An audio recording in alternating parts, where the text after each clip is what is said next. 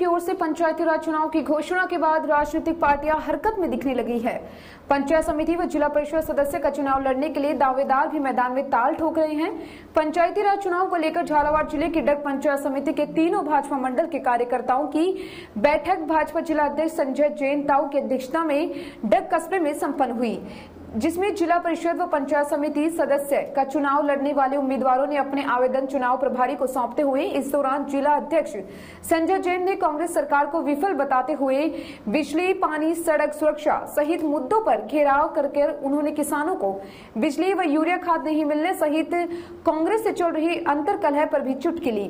तो वही विधायक कालूराम मेघवाल ने भाजपा सरकार द्वारा झालावाड़ ज़िले व पंचायत समिति में कराए गए विकास कार्यो को बताया, साथ ही एक बार फिर जिला प्रमुख व ज़िले की सभी ग्राम पंचायत समितियों में भाजपा के बिठाने का वादा किया है। भाजपा के प्रधान जो है उनको बिठाने का वादा किया है। बैठक में भाजपा मंडल अध्यक्ष गोविंद सिंह गौतम जैन सुल्तान सिंह सहित ज़िले व मंडल के पदाधिकारी मौजूद रहे।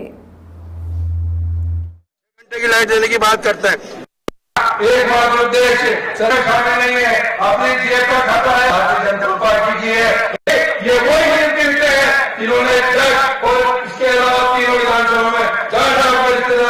अभी उद्बोधन में आपने बताया झालावाड़ ज़िले की आठों सीटों पर प्रधान और जिला परिषद का जो है आपका परचम लहराने वाला है। क्या ऐसा संभव है? किस आधार पर आप ऐसा बोल सकते हैं? निश्चित रूप से भारतीय जनता पार्टी कार्यकर्ता बेस पार्टी और कार्यकर्ताओं के दम पर हम आठों पंचायत समिति और जिला परिषद जीतेंगे।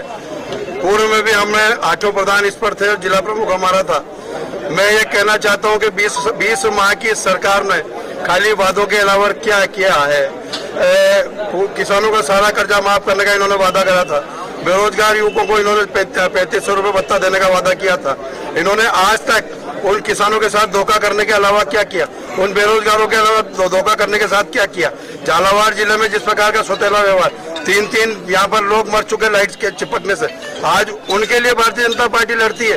कहीं लाइट ही नहीं है आज किसानों की पालत करने का टाइम है। छह घंटे की लाइट देने की बात करते हैं। दो घंटे कटौती सहित देते हैं, दो घंटे भी पूरी लाइट नहीं आती।